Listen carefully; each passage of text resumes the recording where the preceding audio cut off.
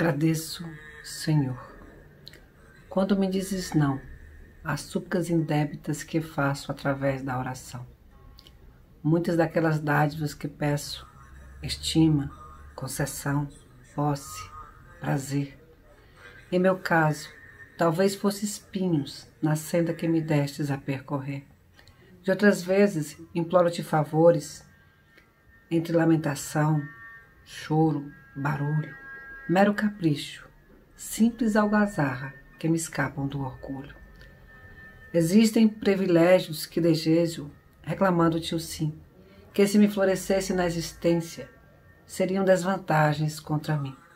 Em muitas circunstâncias, rogo afeto, sem achar companhia em qualquer parte, quando me dás a solidão porquia, que me inspire a buscar-te. Ensina-me, Senhor, que estou no lugar certo, que a ninguém me ligaste de improviso e que desfruto agora o melhor tempo de melhorar-me em tudo o que preciso. Não me escute as exigências loucas, faz-me perceber que alcançarei além do necessário se cumprir o meu dever. Agradeço, meu Deus, quando me dizes não com teu amor, e sempre que te rogue o que não devas, não me atendas, Senhor.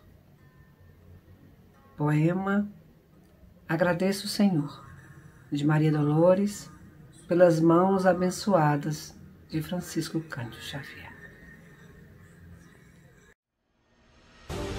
Conheça a TV Espírita Nosso Lar. Inscreva-se no nosso canal no YouTube. TV Espírita Nosso Lar. Compartilhe. Filosofia espiritualidade e ciência no mesmo lugar.